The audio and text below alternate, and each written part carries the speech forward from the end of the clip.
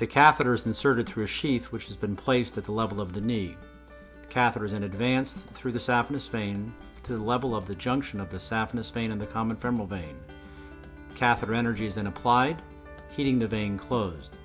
The catheter length is 7 centimeters, and after the initial segment is sealed for 40 seconds at 248 degrees Fahrenheit, it is moved further down towards the leg, 7 centimeters, so that there's a small overlap. With each subsequent heating, there'll be an overlap of a half a centimeter on either end. The heating of the vein creates scar tissue, which then causes the vein to close immediately. The patient is awake during this procedure, slightly sedated, and feels no pain during this closure of the vein. The catheter has marks every 7 centimeters to assist the operating surgeon in precise retraction of the catheter.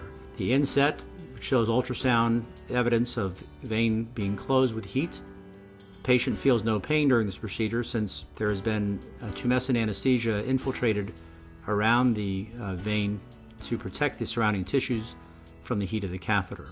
The entire closure of the vein takes approximately four minutes in an average length greater saphenous vein. Patient's leg is wrapped after completion of the procedure and the patient walks out of the office without any discomfort. Follow-up ultrasound is performed within three to five days to confirm persistent vein closure, and to rule out any possible deep vein thrombosis at the level of the groin. The radiofrequency generator consistently heats the catheter to 120 degrees Celsius, which is the equivalent of uh, 248 degrees Fahrenheit.